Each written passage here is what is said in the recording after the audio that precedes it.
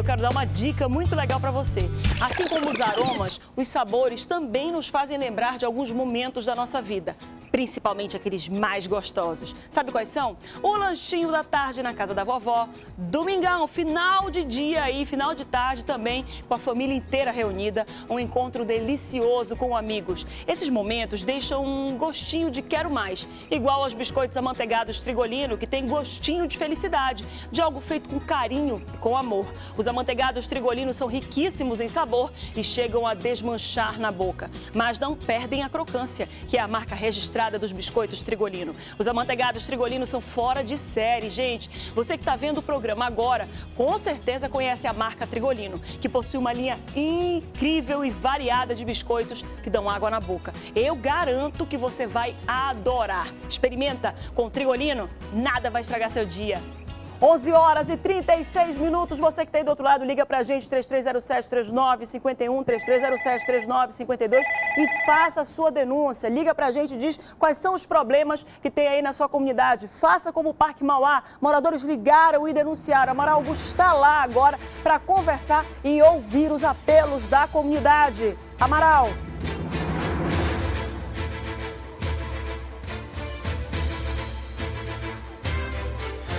Exatamente isso. Marcelo Asmar, deixa eu falar uma coisa. Quando você comentava em relação ao aumento da energia elétrica, a tarifa que fica mais cara, e se a gente for fazer uma soma, já chega aos 66%, deu uma vontade de ligar para o programa agora.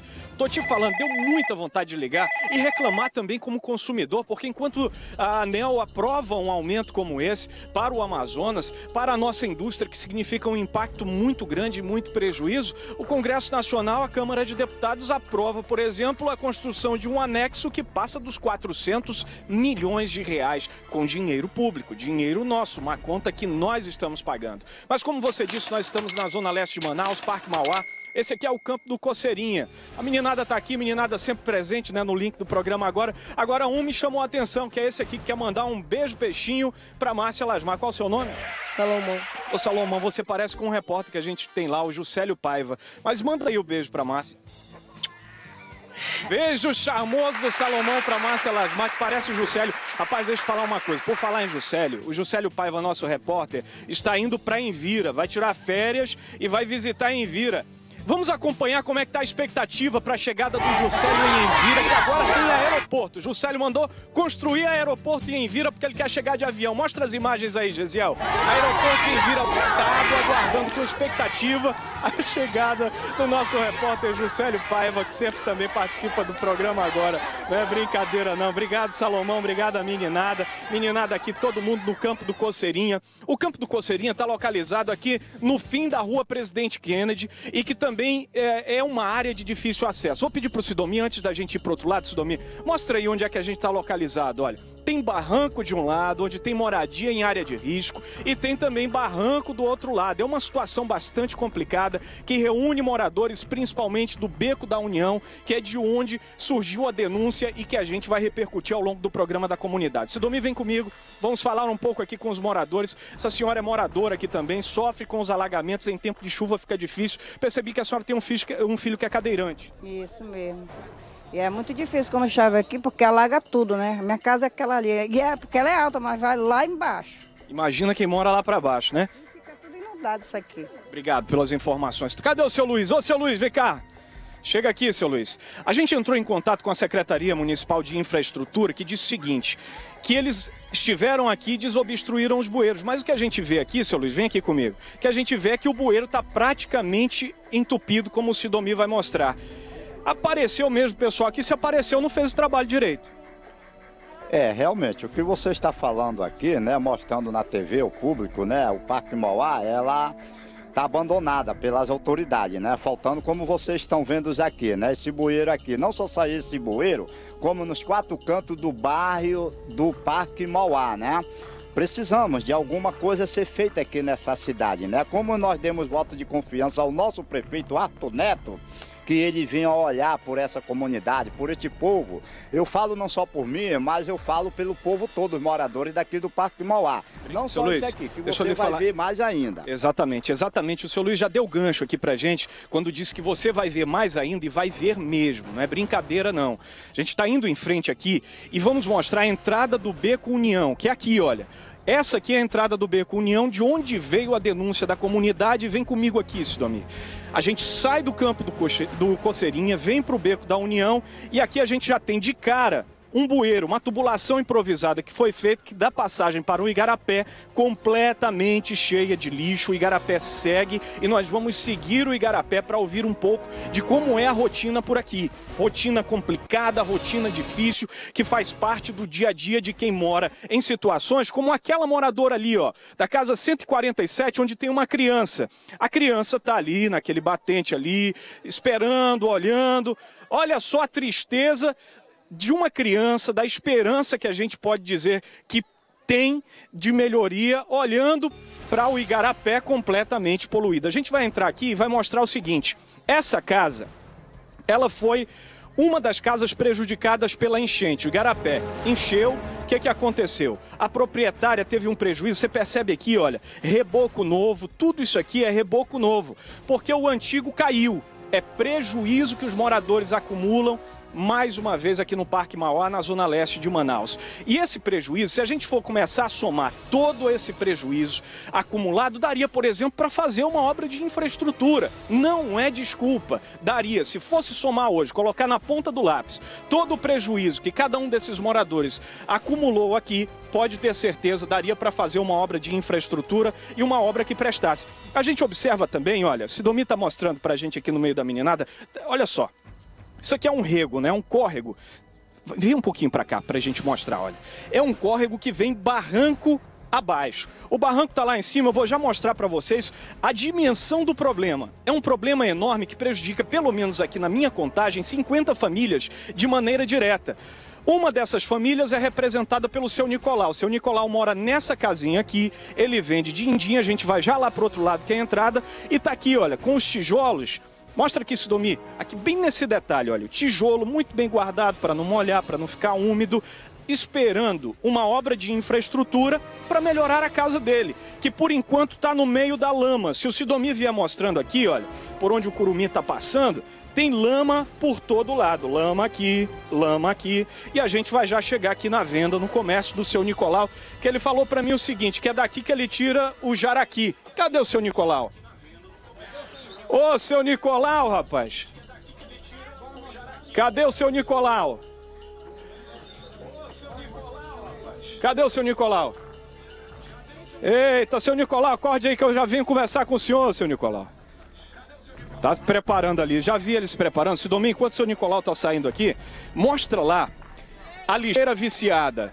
Acharam o seu Nicolau aqui, mas antes a gente vai mostrar aqui a lixeira viciada para que o telespectador tenha um pouco da dimensão de toda essa problemática. Morador que está lá em cima do barranco, Márcia Lasmar, é, tem não tem, na verdade, nenhuma consciência. E enquanto nós estávamos aqui, nós observamos muita gente jogando lixo. Esse lixo é carreado pela chuva barranco abaixo. Ele desce, entope o igarapé e quando chove, você imagina, toda essa área que o Sidomi está mostrando, alaga. E esse alagamento causa um prejuízo enorme. Morador tem que comprar móveis novos, morador tem que comprar geladeira, sofá, guarda-roupa. Vem comigo aqui, Sidomi, vamos ver se a gente fala aqui com o seu Nicolau. Cadê ele? Seu Nicolau, chega aqui, seu Nicolau.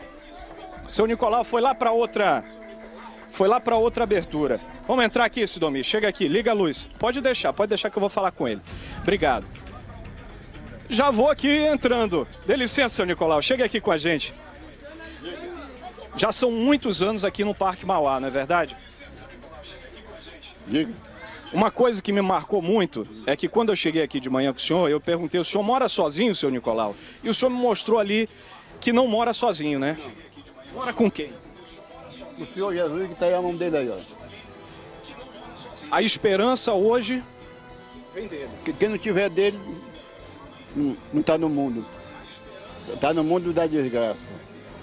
Tá entendendo? O que, que o senhor espera que melhore aqui no Parque Mauá? Quando está um homem de palavra. Por enquanto, Até agora não tem nenhum. e a população prejudicada. É, porque ele, ele não quer saber, só quer saber do o copinho, tomar um dia de sábado, fazer farra por aí, aos bairros e esquece do bairro. Então não adianta. Aí vai, vai, vai entrar outro, entra outro pior. Obrigado, seu Nicolau. Olha, o que dá para perceber aqui, viu, é que o seu Nicolau é um homem de poucas palavras, mas que tem muita experiência. Nas poucas palavras que ele diz pra gente, ele relata aqui a espera, a paciência do morador, mas nem todos têm a mesma paciência. Olha só, por exemplo, aqui, nessa área que a gente vai tentar mostrar aqui, Sidomi, olha. A gente vai passar por esse lado, nem todos têm a mesma paciência. Eu vou passando, a meninada vai passando também, né? É isso que eu acho engraçado. Essa aqui, olha, no Beco São Francisco, a casa de número 17, no Beco São Francisco, tá escrito aqui, olha, vende-se esta casa. O problema é que a casa está completamente abandonada, ou seja, nem todos tiveram a mesma paciência do seu Nicolau e o que é pior, tiveram que abandonar a casa e sem esperança de vender uma moradia como essa, porque quem é que vai comprar uma casa que todo ano, no período de chuva, alaga? Boa pergunta essa, né, Marcela Asmar? Volto com você aí no estúdio daqui a pouco. A gente mostra a situação de quem está na beira do Igarapé, que espera, por exemplo, a obra do Hip Rap. Segundo a prefeitura, está em estudo topográfico. O que, que é estudo topográfico para quem mora em situação de risco como essa que nós estamos mostrando aqui hoje? Volto com você aos estúdios. Obrigada, Amaral Augusto. Boa pergunta. O que é o sonho da casa própria que vira um pesadelo?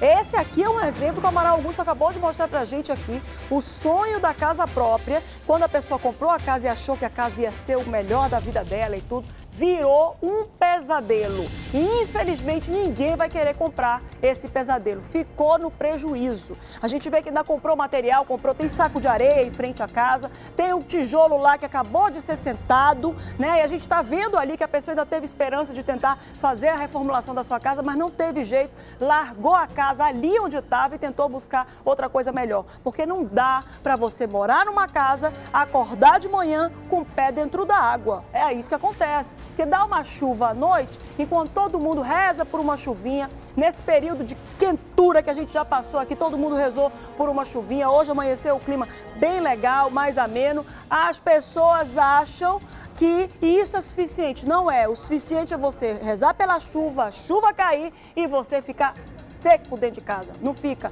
fica com água no meio da canela. Então isso não é dignidade, não é uma moradia decente. A gente espera que o poder público resolva isso, porque todos têm direito a uma vida digna. É constitucional, não estou inventando não. São 11 horas e 47 minutos. minutos. Você que está aí do outro lado pode participar conosco do programa da comunidade 3307-3951 e 3307-3952. Olha só, gente, vou falar para você que está aí do outro lado. Na tarde dessa quarta-feira, ontem, taxistas de Roraima fecharam um trecho da BR-174 em protesto contra bloqueios feitos por indígenas na rodovia. Os professores e líderes indígenas fazem essa manifestação desde o início da semana para cobrar do governo plano de cargos e salários dos professores, dos docentes. Por conta disso, o tráfego de veículo na, na, na rodovia foi prejudicado. Agora pela manhã a estrada foi liberada e representantes do governo de Roraima negociam com os indígenas. Você está acompanhando aí esse momento de negociação, essa conversa aí que representante do governo está tendo com os indígenas e a gente acompanha e espera uma solução. Eles estão sem razão?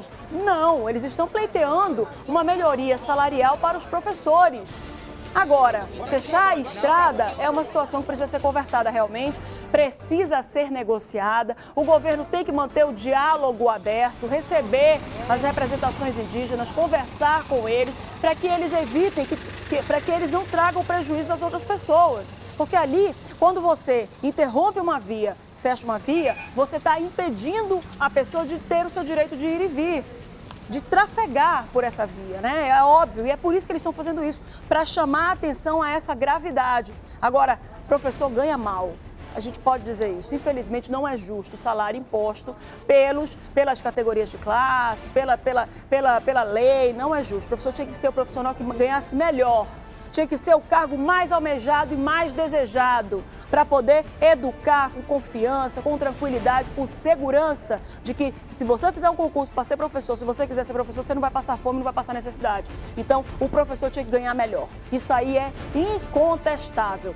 11 horas e 50 minutos, você que está aí do outro lado, 981 16 3529 é o nosso WhatsApp. Por esse número, você manda sua foto, sua mensagem de voz, seu vídeo, aquele flagrante que você pegou e que só você pegou e manter esse contato direto com a gente 24 horas por dia, 7 dias na semana. Eu tenho maneira de dizer isso porque o nosso WhatsApp sempre vai ter alguém ali online, vai ter alguém ali que vai receber seu, a sua comunicação. E quem tem também nosso telefone, 3307-3951 e 3307-3952 são os nossos telefones para contato, para a gente também receber a sua denúncia aqui no programa da comunidade. Olha só, gente, você que está aí do outro lado, a gente está falando aqui, o Amaral Augusto está lá na comunidade Mauá, no Parque Mauá, trazendo a denúncia da comunidade. Qual é a denúncia da comunidade? Infraestrutura e problema com alagamento. Eles têm medo de a, da água entrar aí na casa de você, na casa deles, né? E aí a gente vai trazer para você que está aí do outro lado, justamente o contrário, o oposto. Com a vazante que atinge os lagos aí de Presidente Figueiredo, os moradores da zona rural do município sofrem com a falta de água potável. E por causa disso, o outro problema também, o, outro problema é a questão da produção rural. E além disso, ainda tem a falta de energia. É um prejuízo que não tem tamanho, é um prejuízo sem fim e é o que a gente vai ver agora. Coloca na tela. Dona Kelly tem quatro filhos pequenos. Ela mostra o que sobrou de água na caixa. A torneira nem pinga. Para lavar louças, ela tem que descer e subir um barranco de 40 metros de altura.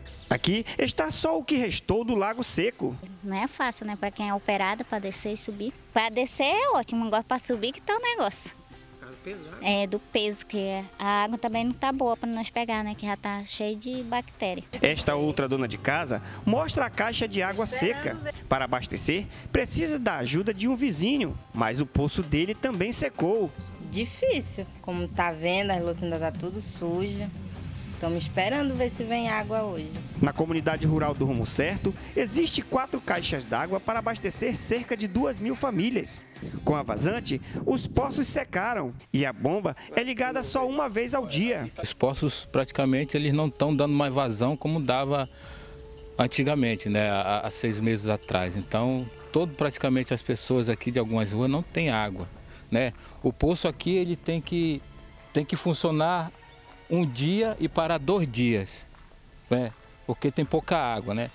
Além da seca e falta de água potável, outro problema enfrentado pela comunidade é a constante falta de energia.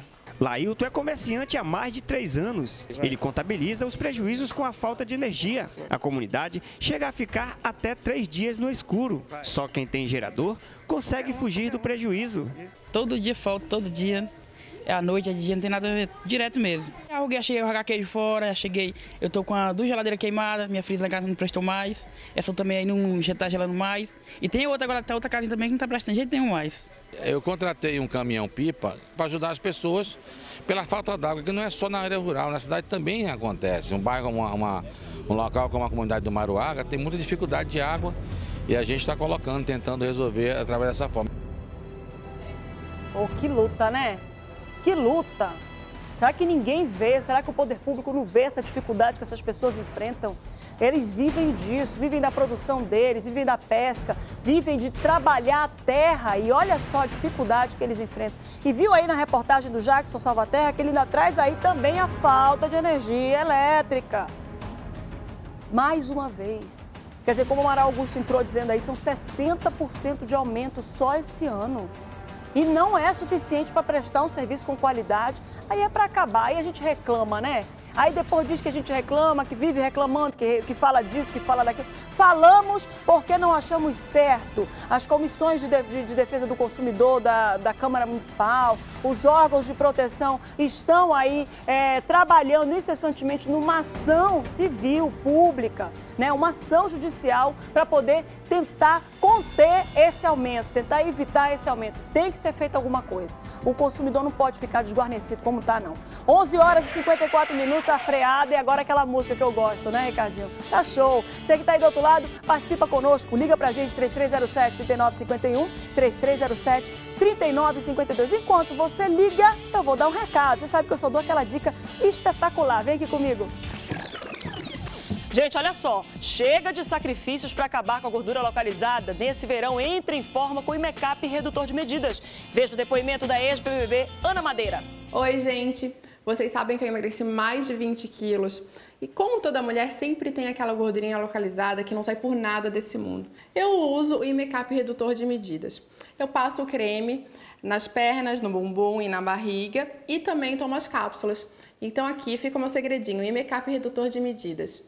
Beijos, tchau! Viu só? Imecap Redutor de Medidas é um tratamento completo para redução da gordura abdominal e dos quadris. Imecap Redutor de Medidas é indicado para homens e mulheres e combina creme e cápsulas. O creme atinge as camadas mais profundas da pele, eliminando a gordura localizada. Já as cápsulas agem de dentro para fora, acelerando o metabolismo e destruindo as gorduras mais profundas. Gordura localizada tem solução com Imecap Redutor de Medidas. Imecap Redutor de Medidas está à venda em todas as farmácias do Brasil, mas a preços promocionais nas drogarias Angélica e Forma Bem. E você já sabe, hein? Não troque de produto, troque de farmácia.